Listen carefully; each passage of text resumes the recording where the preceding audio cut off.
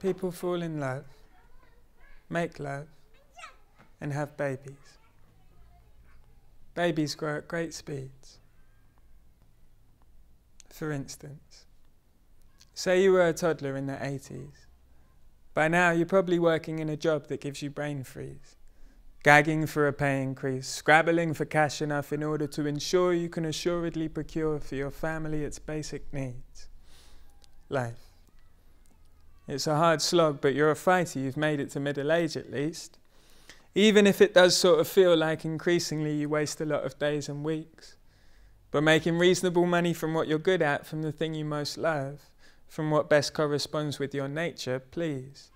It sounds like the stuff of some make believes. We aren't all special. Gold doesn't pave the streets. When you heard the universities had opted to raise their fees, it made you want to cry like a two year old who got tripped and grazed his knees. And in any case, the girl ain't even going to get a place if she doesn't get the grades she needs. Bright kids should be angling for A's and B's instead. What's this? Geez Louise. Report cards filling up with ADHDs and E's. Doctor, doctor, I have a trepidation. My daughter doesn't really match with education. You, sir, need a batch of medication. From here on in, it's just damage limitation. Two people fall in love and make love, thus producing a princess, a little madam. My point being, the life and death cycle of humans begins with a fit of passion. Surely then we should all be splintering the atom, trying to innovate a different pattern, a system not explicitly constructed to render creativity inexplicably distant, conspicuously absent, people fall in love, make love, and have babies, thus providing hard proof that miracles can happen. Which is good to know because that's what we all are going to need if we're to reinvigorate the listless interactions, currently driving entire classrooms to dribbling distraction. Isn't it true that children's brains are predisposed towards vigorous expansion? It seems a pinch peculiar to pickle them like Branston, to take their curiosities and cram them into standardized jars. Our kids are reared like battery hen chicks for individualist conformity, the very worst of both worlds, swiveling in tandem. And when they're grown, we throw them off a cliff into a chasm. And what about the teachers? Helplessly afflicting stupefaction on the kids in their command of poor things? No.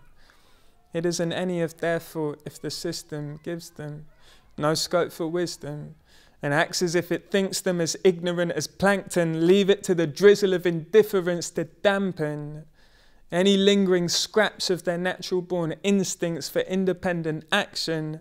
People fall in love. It's an age old urge. In a bid to be saved, souls merge bravely giving up the safety of their well defined outlines to desire's melting pots, they collaboratively tie themselves in knots. And the odds are firmly on that pretty soon they'll be hitting Google up for baby names and buying lots of tiny velvet frocks, as well as flat pack IKEA climbing frames and cots. The riddle then, naturally submitted for dismantling, has to be exactly what planet will this infant be inhabiting? In precisely which paradigmatic realms will this little one be languishing? The world is in crisis. All its resources due to pillaging are dwindling, withering, vanishing. We've been indiscriminately gambling on destiny for too long. And now disaster isn't imminent. It's part of our immediate predicament. It's happening. The fact is, if we are to avert the fatal fate towards which we giddily are galloping, we'll need to ease up on the systematic shackling of free thought, experimentation, originality. Okay, if I might, I think I'd like to finish off by reeling off a short list of applicable platitudes. The truth is in the seeking.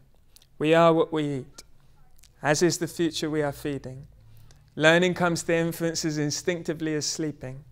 Every single instant is inimitably fleeting, thus, this and every instant is for seizing, for gripping, and for squeezing. Of course, it's all just a little piece of history repeating that goes without whispering or shrieking, scribbling or chirruping or tweeting. But surely, with a little bit of innovative scheming, we could rustle up some rituals that enrich the thing with meaning. We haven't got to reinvent the principles of wheeling.